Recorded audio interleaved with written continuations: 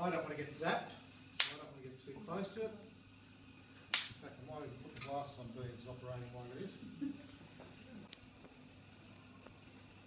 What sort of charges are coming off? That's almost there.